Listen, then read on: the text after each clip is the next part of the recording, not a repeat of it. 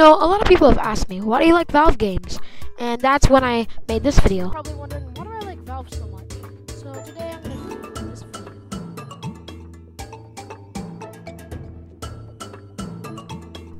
But at that time, people still ask me why this. Uh, people still ask me this question. So, um, you know, I think I should give it a full explanation now.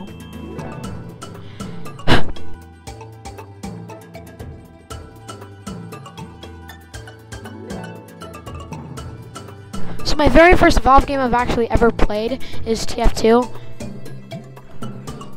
And this game was like so much fun, so like I had to make a video on it, even though my YouTube channel was meant to sort of be about TF2, but it was just about every single Valve game. You know, I got Steam and I got a lot of friends here, and I was wondering why not do a collab with someone or something. You know, it would be quite fun. Even though your friends can send you videos, anyway. Did you guys know that Steam was actually made by the creator of Valve? Well, Gabe Newell is the creator of Valve and both Steam as well. So, I mean, there, there's even this like editing system thing. It's taking a while to actually work. There's this editing system thing that Valve also made on Steam, which is pretty cool, right? Even though I don't really use it.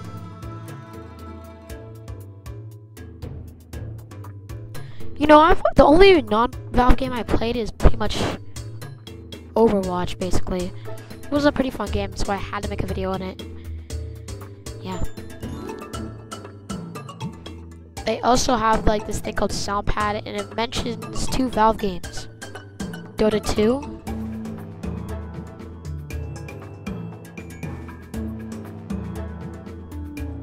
and Counter-Strike. There's only one, actually no, like two games that I completely beat in the game. Half-Life 2 and Portal. Really fun games. And also the textures still look pretty good even though they're made of five, like, five thousand years ago.